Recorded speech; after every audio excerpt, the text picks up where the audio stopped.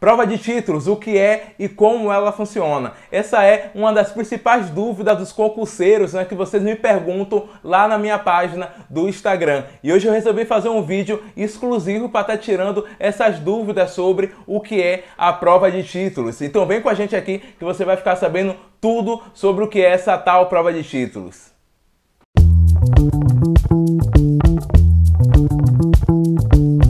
Para você que não me conhece, meu nome é Everton Suzarte, eu sou servidor público federal e também sou docente universitário. Né? E para estar tá tirando essa dúvida de vocês sobre a prova de título, eu venho esclarecer que a prova de títulos nada mais é do que uma etapa do concurso, né? podendo ser a segunda, geralmente é a segunda ou a terceira etapa. Como é que ela funciona? Ela é uma pontuação extra que é, dependendo do edital, se o edital tiver essa prova de títulos, você vai poder somar essa pontuação à sua pontuação da prova objetiva. Né? Você tem a prova objetiva na primeira fase e a prova de títulos na segunda fase. E aí eles vão se somar. Geralmente a pontuação da prova de títulos vem da graduação, dependendo do cargo que você tiver, pós-graduação, mestrado e doutorado. Em alguns editais também eles colocam publicações de artigos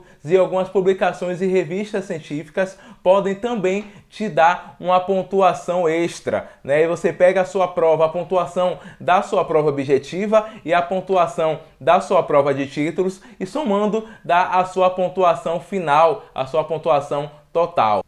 Sobre quantos pontos te dá cada titulação, isso vai depender muito do seu edital. Né? Alguns editais em pós-graduação dão dois pontos a mais, mestrado cinco pontos a mais, doutorado 10 pontos. Isso aí vai variar muito do seu edital. Uma outra dúvida que vocês mandam para mim também é sobre a formação, né? Caso eu esteja fazendo uma prova para a área de comunicação social e sou doutor em biologia, né? Isso vai servir para titulação dentro da área? Depende, né? Alguns editais, eles pedem que a sua formação, né, sua pós-graduação, seu mestrado ou seu doutorado seja dentro da área de atuação, né, a qual você vai estar atuando naquele concurso. Alguns não, né? Caso você já tenha, né, essa graduação maior, uma pós-graduação, um mestrado ou doutorado, você já consegue essa pontuação, independente da formação a qual você esteja, né? Independente da área que você vai trabalhar. Isso vai depender muito, pessoal, do seu edital, tá bom? Por isso que é necessário uma análise do edital para saber como é que vai ser feito a pontuação, né? Se o curso tem que ser uma formação direta com a forma que você vai trabalhar, ou pode ser uma formação qualquer, né? Uma formação até um pouco mais distante do, do seu cargo, da forma que você vai trabalhar.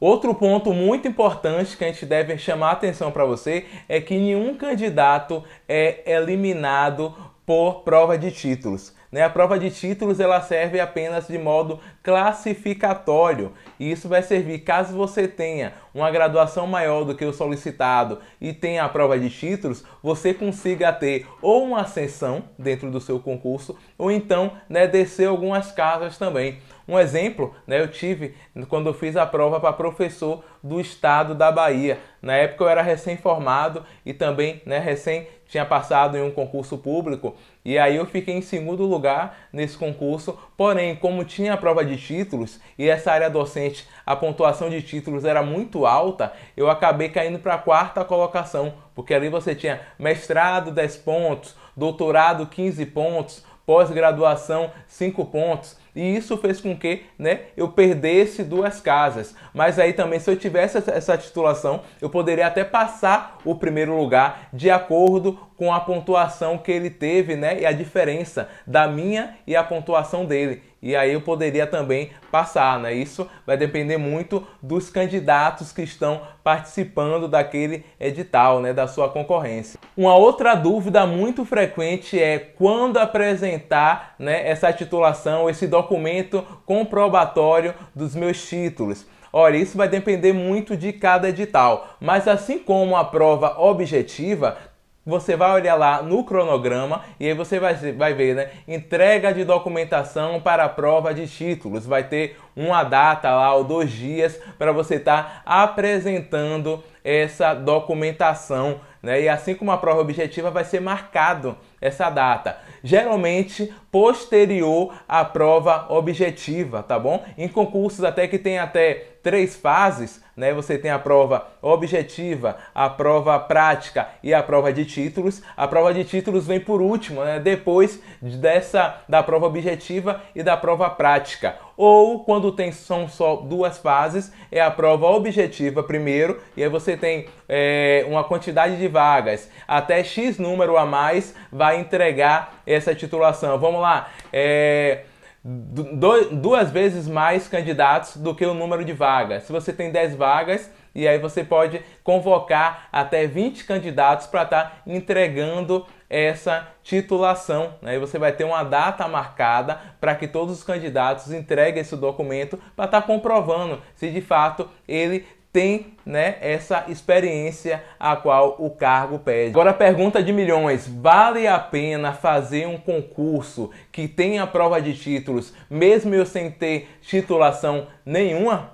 Com certeza vale, pessoal. Não deixe de fazer um concurso pela prova de títulos, tá bom? Às vezes, dependendo do cargo, a titulação vai te dar uma pontuação mínima de 2 pontos, 3 pontos, 5 pontos, podendo chegar até no máximo 10 pontos. Se você se sair muito bem na sua prova objetiva, mesmo que né, os outros candidatos tenham doutorado, mestrado, pós-graduação, eles não vão conseguir te alcançar né, dentro do total. Lembrando, como eu falei para vocês, que a prova de títulos ela vem somada à prova objetiva. Se você conseguir sair super bem na sua prova objetiva, mesmo que seus candidatos né, consigam ali ficar quarto, quinto, sexto lugar, ele vai ter que tirar essa diferença toda para estar tá alcançando você na sua, somente na prova de títulos. E muitas vezes isso não é possível, né? Alguns editais lá, é, pós-graduação você só pode somar um, mesmo que a pessoa tenha três pós-graduações ou quatro, né? Algumas pessoas fazem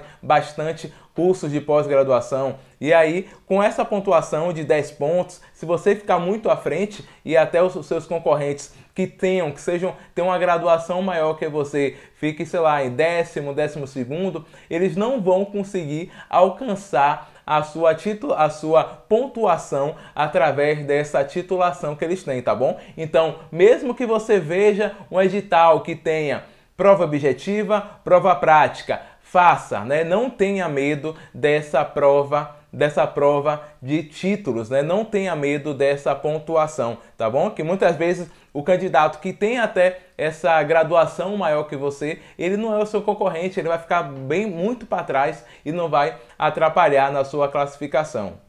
Espero que a gente tenha tirado todas as dúvidas de vocês falando sobre a prova de títulos, né? Caso tenha ficado alguma dúvida, pode mandar aqui nos comentários, né? Pode mandar que a gente responde. Vai lá também em nosso Instagram, o arroba Dicas de Comunicação. Lá a gente tem dicas diariamente. E eu já te convido também para você curtir, esse, curtir aqui esse nosso vídeo, inscrever-se em nosso canal e estar tá acompanhando esse nosso trabalho que toda semana tem vídeo novo, tá bom? Vou deixar aqui ó, na tela mais dois vídeos para você acompanhar né, como é feita essa preparação para os concursos públicos e principalmente para você que está iniciando a sua preparação agora, tá bom? Então a gente se vê por aí. Um grande abraço. Tchau, tchau.